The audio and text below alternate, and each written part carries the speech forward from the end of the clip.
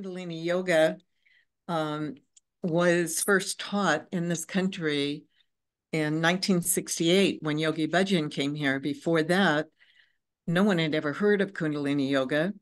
And as he continued teaching us, he began to describe its roots, where it came from. And he, in fact, told us that it came from Tibet, from Asia, from South America, that there were cultures all over the world that practiced this sacred technology. So it's very ancient. And in India, there were Sikhs around the time of Guru Nanak who practiced uh, what were called um, Udasi Sikhs and Siddhi Sikhs. They, not Sikhs, but cities that practice these um, very secret and more stringent practices where they were celibate and they lived alone.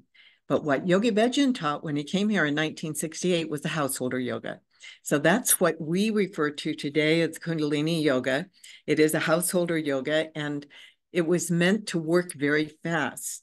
So it combines in Kriyas three aspects postures and movement with breath combined with sound current meditation. You combine these three together, and that uh, causes it to work very fast to help you heal yourself, to heal yourself on physical and subtle energy levels.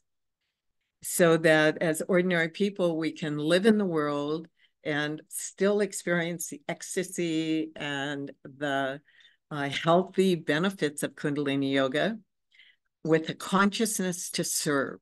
And that's what Yogi Bhajan always stressed was the most important thing that we wanted to achieve in Kundalini Yoga.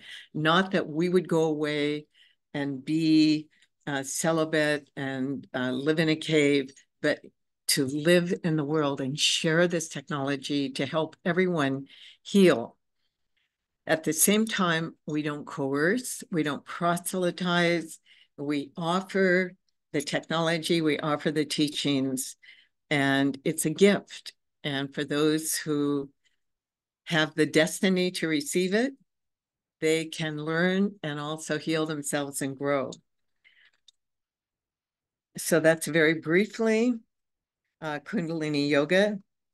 There's volumes and volumes of books written from lectures that Yogi Bhajan gave and also ancient historical texts.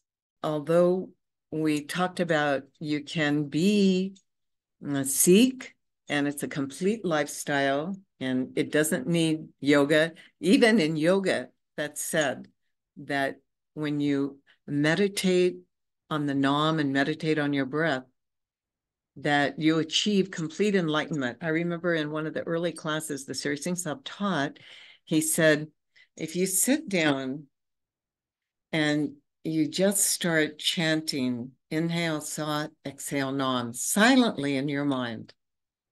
And if you can just control your breath for eight hours, you'll be fully enlightened. You don't have to do the yoga. You don't have to do any pretzel poses.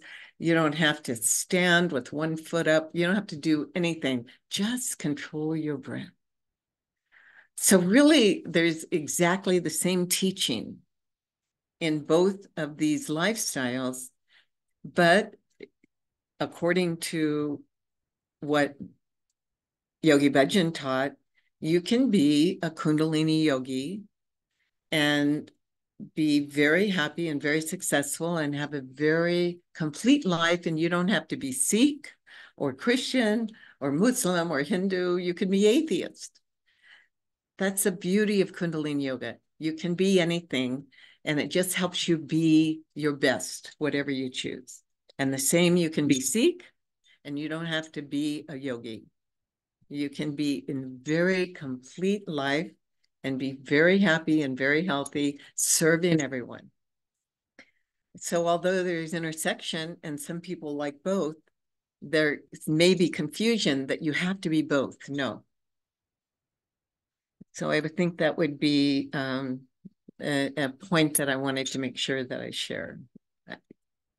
It's all about just choosing consciously, immersing yourself in the experience and then choosing